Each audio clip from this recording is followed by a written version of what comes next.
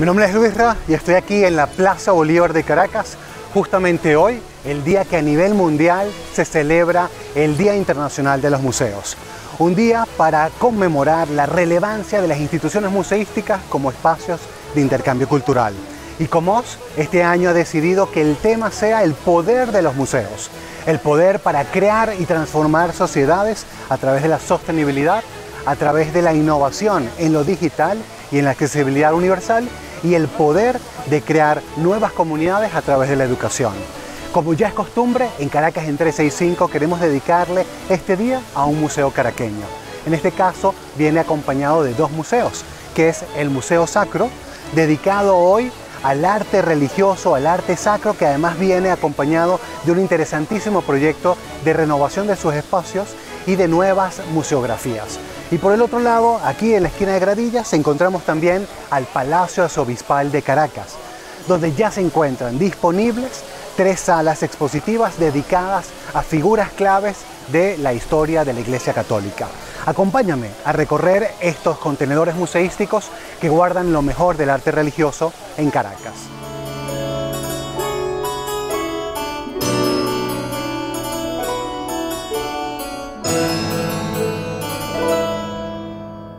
La visita de hoy va a arrancar por el Palacio Obispal de Caracas, donde ya me está esperando el padre Gasper Salermo, mejor conocido como el padre Rino, quien es el presidente de los museos de la Arquidiócesis de Caracas. Acompáñame.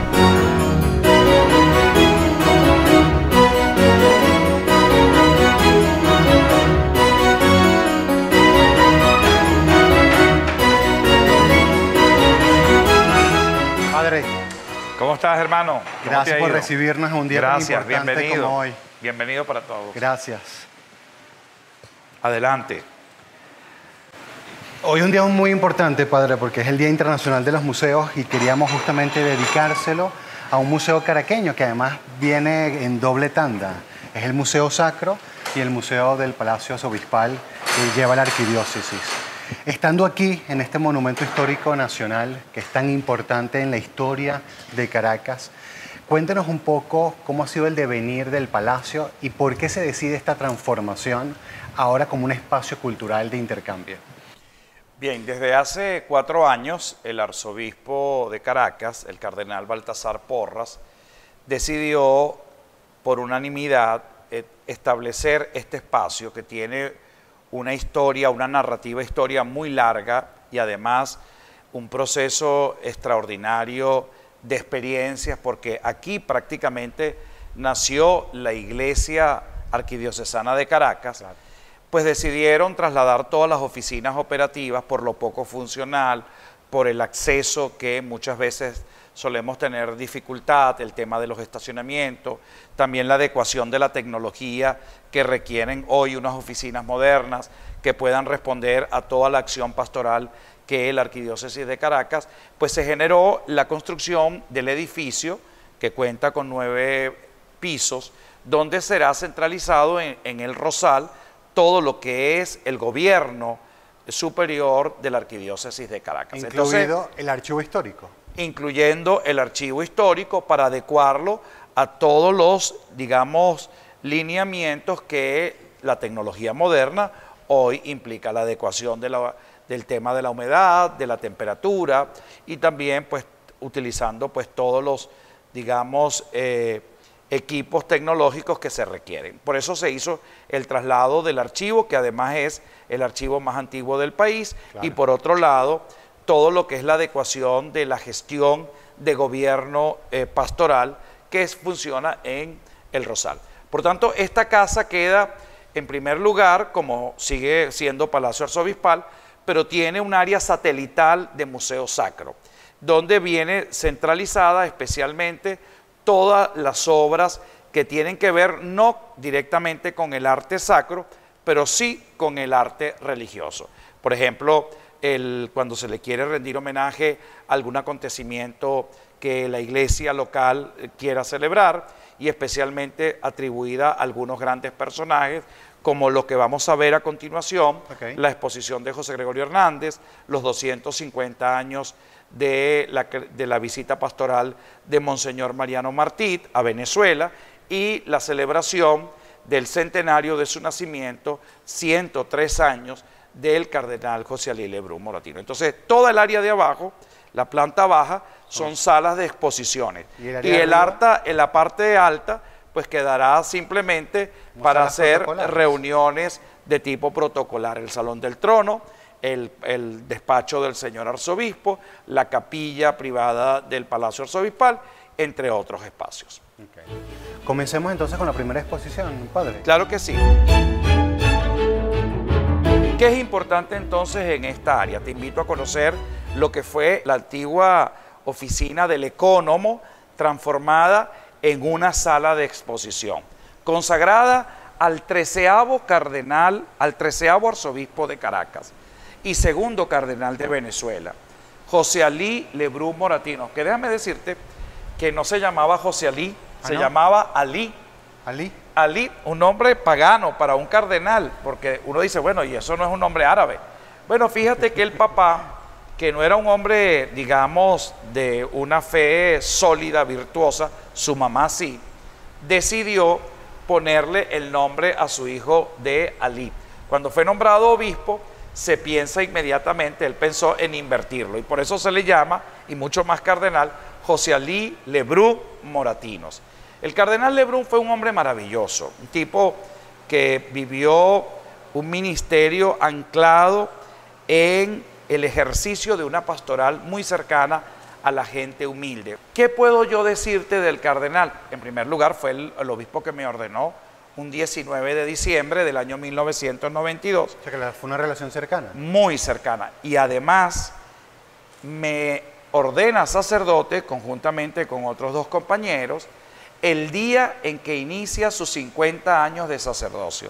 Sus bodas de oro fueron el fruto, de alguna manera, el nacimiento de mi humilde ministerio. Recuerdo de él un hombre muy cercano, un hombre extraordinariamente eh, humilde, un hombre que nunca dudó en ser cercano a las necesidades de la gente. Y una de sus emblemáticas caminatas, que ya te voy a hablar un poco de la cantidad de pares de zapatos que vas a ver a lo largo de esta exposición, es que él solía caminar mucho entre el palacio y la catedral para ir a hacer sus ejercicios, eh, digamos, de oración, sus oraciones personales, y siempre se dedicaba a saludar y a preguntarle a la gente por todas sus necesidades. Fue un hombre muy bondadoso, muy humilde, un hombre que no dejó ningún bien material, murió pobre, Fíjate, ¿qué me, me llama la atención y qué recuerdo del cardenal Lebrun?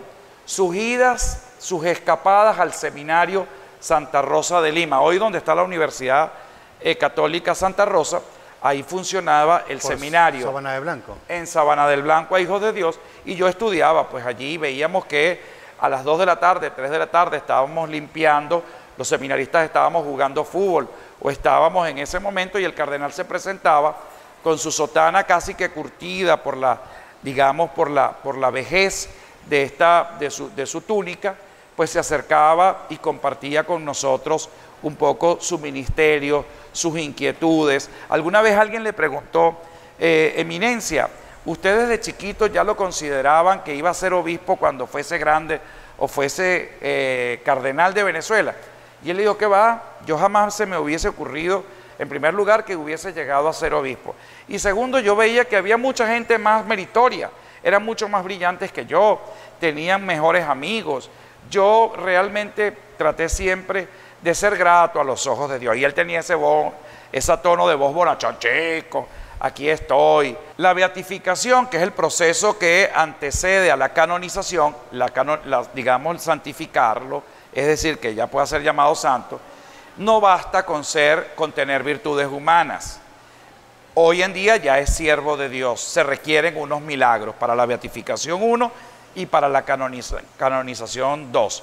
Bueno, yo invito a la gente a encomendarse al cardenal Lebrun, porque vamos a tener un mediador en el cielo con Papá Dios extraordinario. Y por otro lado, no basta sencillamente con tener méritos. Los méritos humanos los tiene de sobras.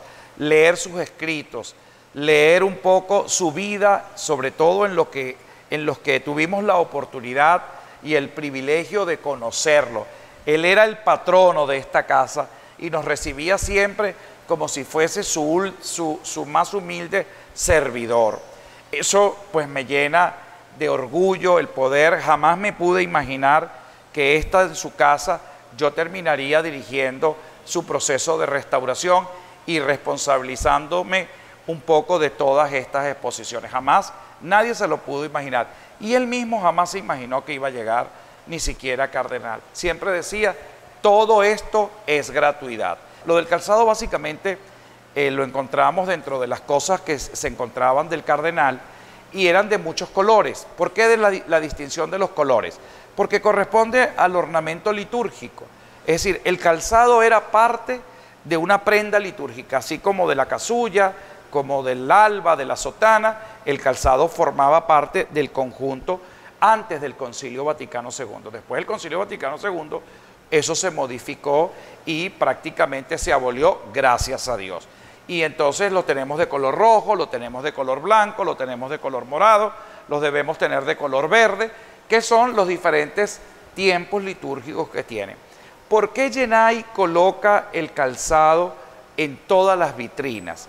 Bueno, porque quiso resaltar un elemento que pocos han resaltado del cardenal Lebrun, que es el hombre de a pie, el hombre que se baja de su trono, camina con su pueblo y que además avanza con ese mismo pueblo. Unas veces adelante, dirigiéndolo, otras veces en el medio de ese pueblo, sintiendo sus pesares, pero también sus fortalezas y sus esperanzas, y otras veces, otras veces atrás, para que el que esté rezagado no abandone nunca el rebaño.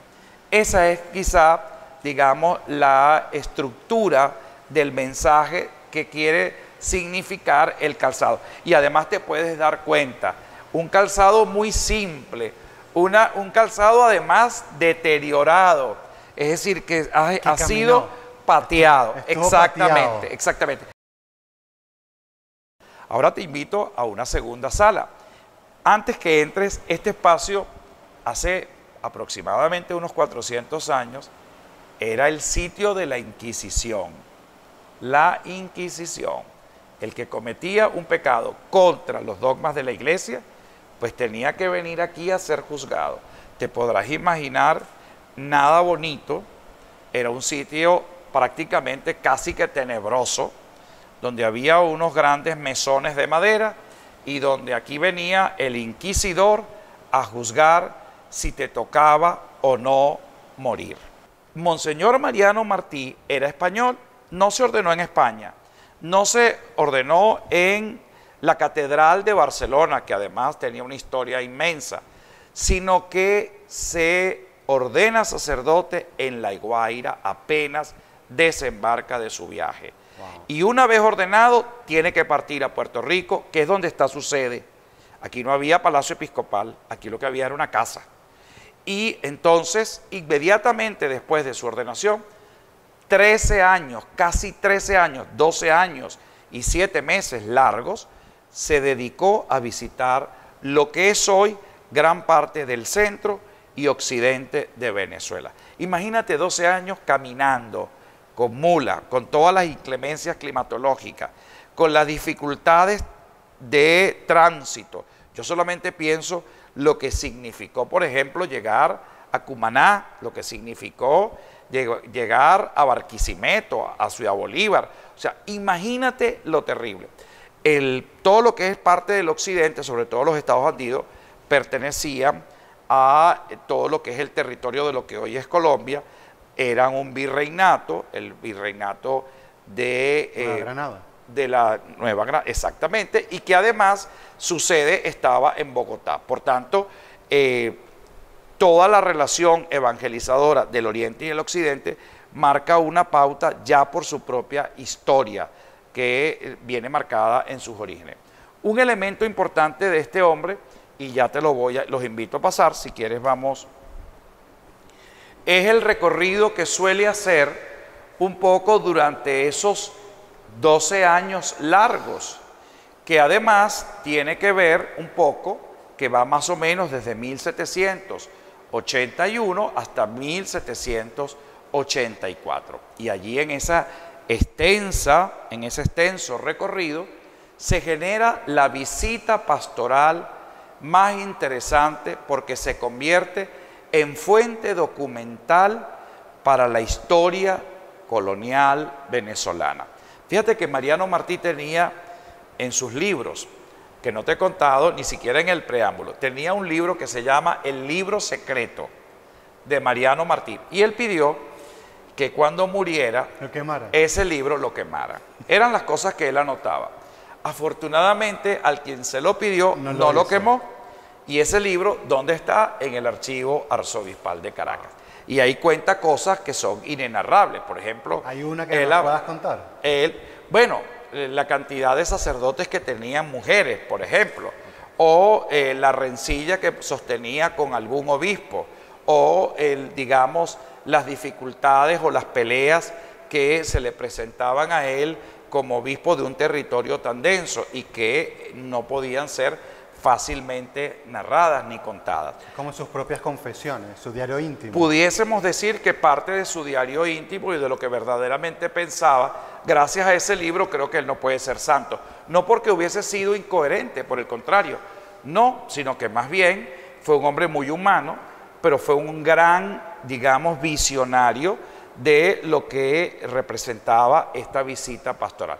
Después te quisiera enseñar a lo largo de toda esta, digamos, exposición que se han recogido con mucho esfuerzo y sobre todo con un trabajo de investigación, además de musealización, eh, son todas estas cosas que formaron parte de sus pertenencias personales, entre ellas el pectoral, el pectoral es la cruz que ves allí eh, con piedras preciosas que adorna el, crucifijo y que forma parte como uno de los emblemas episcopales importantes. Y el anillo, el anillo conjuntamente con su sello.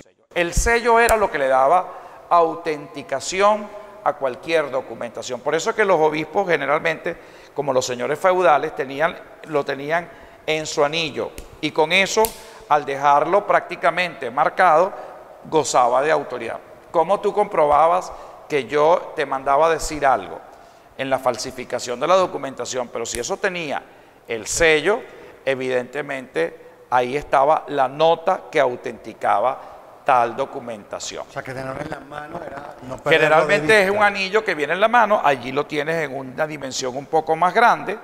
En este anillo, los, los obispos no solamente les gustaba tener su sello en el, en el, en el dedo, sino que también querían tener sus piedras preciosas, era típico de, eh, digamos, del momento, y por supuesto todos los materiales tenían que ser nobles, y mucho más en esta tierra, que era el paraíso del dorado, donde estaba el oro, donde estaban las perlas, y que eso enloqueció no solamente a los españoles, sino también a los propios misioneros.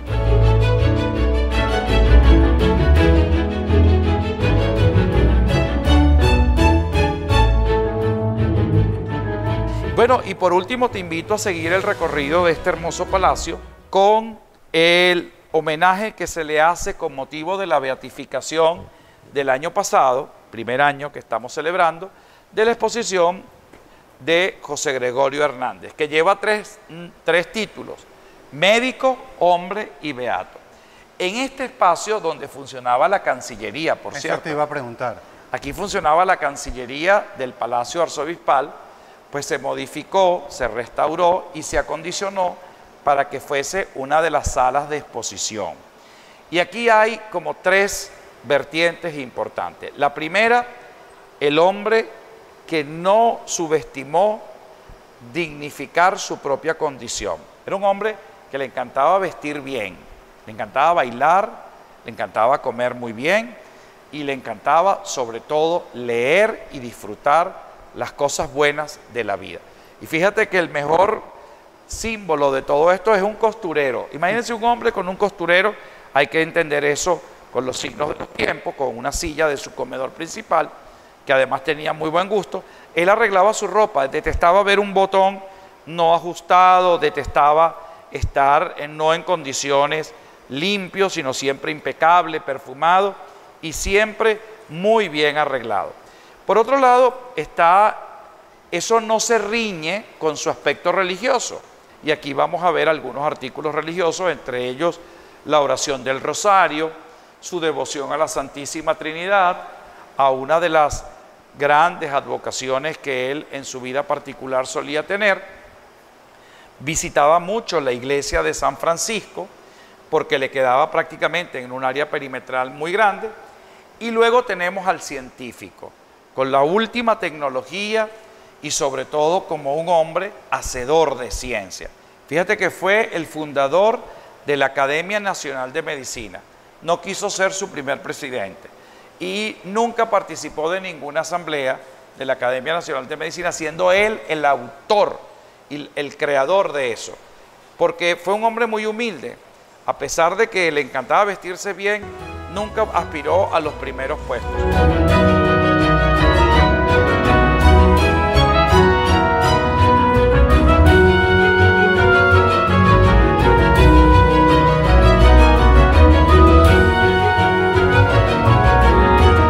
Invito entonces a seguirnos hacia el Museo Sacro de Caracas. Padre, en el Día Internacional de los Museos, yo creo que la promesa más interesante que tenemos en términos de instituciones museísticas es la reapertura del Museo Sacro, que además la gente lo recuerda como la cárcel, como el, primer cementerio de la ciudad y algunos dicen el café. Entonces yo quisiera que nos hablara un poco de cómo se va a adaptar cada uno de los espacios a la nueva museografía del siglo XXI. ¿Qué trae de nuevo para además ser accesible, para además ser tecnológico el Museo Sacro? Fíjate, hay varias cosas. En primer lugar, eh, hace cuatro años exactamente, el cardenal me asignó esta responsabilidad de ser presidente y director del Museo Sacro de Caracas. Junto con el Palacio Arzobispal. Y ahí se añade el Palacio Arzobispal para poder ofrecer un servicio de gran importancia entre lo que los museos deben ofrecer. Ahora bien, los museos no son galerías, los museos no son unas casas viejas donde se exponen un poco de peroles viejos, y los museos generalmente son considerados como tales. Lograr que el museo sea un espacio de interacción con la comunidad, que sea un espacio de elevación de la cultura, y especialmente los museos sacros, cuando están debajo del patrocinio de nuestra iglesia, que sean espacios de evangelización, pues resulta un desafío inmenso. Yo tuve la oportunidad de irme a formar varios años consecutivos en los museos vaticanos y manejar la organización estructural, eh, digamos, en un museo que tiene 258 mil piezas de inventario, te podrás imaginar, y colecciones de Leonardo da Vinci, de Miguel Ángel, entre otros miles y miles de eh, pintores, escultores, arquitectos, pues bueno, frente a una colección de 258 mil piezas a una colección de 1.500 piezas, te podrás imaginar. Pero la conceptualización no cambia, cambian son los números. Entonces la estructura organizacional la queremos llevar a esos niveles.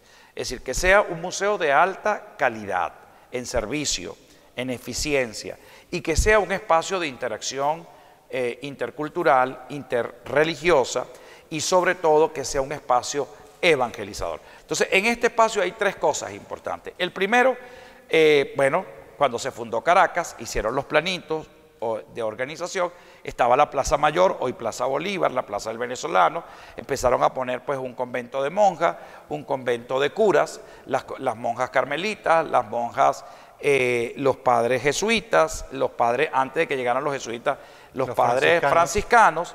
en la iglesia de San Francisco, y entonces se empezó a organizar un poco la estructura de lo que fue esta hermosa ciudad. Se hizo la capilla de San Pedro, que es hoy al lado está la catedral, la parroquia más antigua de Caracas. Justamente al lado de la capilla o de la iglesia se solía hacer el cementerio, porque así regía un poco la fundación de un pueblo, y que luego, 200 años más tarde, se dieron cuenta que los pueblos empezaban a morir la gente de cualquier cantidad de peste y se dieron cuenta que los portadores de infecciones eran los cementerios y por célula real empezaron a hacerlos fuera del territorio, digamos, poblado para que eso generar, no generara ningún tipo de inconveniente de salud pública. Podemos hablar que este es el primer cementerio de la ciudad. Podemos declarar que es el primer cementerio. Te voy a explicar. Donde hay enterrados blancos. Porque siempre hago esa acotación. ¿Por qué? Bueno, porque yo estoy pensando en Petare. Petare es 1604 y como parroquia 1621.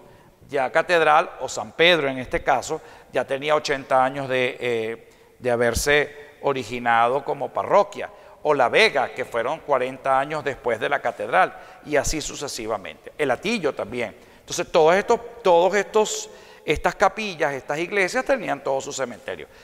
Cuando se quita el cementerio, porque se manda a eliminar el cementerio, a recoger la mayoría de los eh, restos mortales y se traslada a los otros espacios, bueno, aquí se construye para que nadie tenga la tentación de seguir enterrando, se construye la, eh, básicamente, la primera casa episcopal, o sea, una casa que sea de estudios para los futuros sacerdotes. El colegio. Y por tanto, el famoso colegio episcopal. Pero era una casa porque aquí vivían también sacerdotes y llegaron a vivir incluso en algún momento obispos.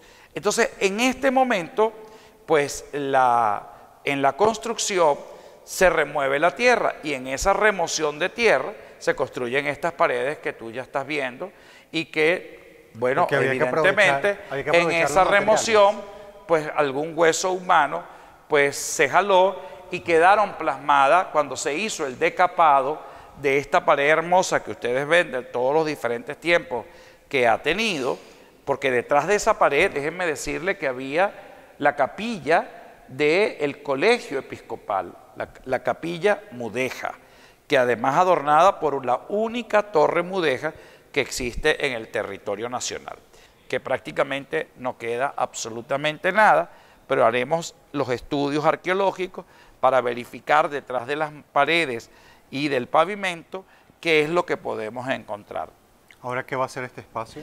Es un área de recreativa, es decir, es un patio como lo que realmente siempre fue después de haberse destruido lo que fue la, capilla episcopal. Es decir, no podemos crear un facsímil, una especie de eh, una cosa pintoresca. Fíjate que el cafetín generó muchos daños porque este, al anclarse en unas paredes con toda la cantidad, fue realmente, ahora cuesta más pues restaurarlo. Pues estamos ahora culminando estas dos últimas salas y yo te invito para que lo veamos. Falta prácticamente, ya se hizo la reposición del cableado y de todo lo que significa techos y paredes y ventanas y quedaría entonces la colocación del PUIC, del piso para tener el mismo lenguaje y seguidamente este, esto pasará a ser una sala de exposición. Yo quería pasar al segundo punto que por un lado es el cementerio, pero también es la, famosa cárcel. La primera cárcel de clérigos y también de gente que atentaba contra la moral y las buenas costumbres, pues venían presos en nuestra cárcel. Salían de esa cárcel, palacio juzgados, y serían inmediatamente llevados con sus grilletes.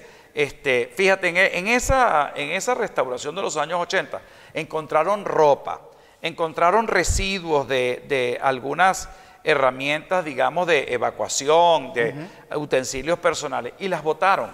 No se percataron ni las musealizaron. Ah, Entonces, qué interesante hubiese sido que se armonice con los artículos de expresidiarios que fueron parte de ese.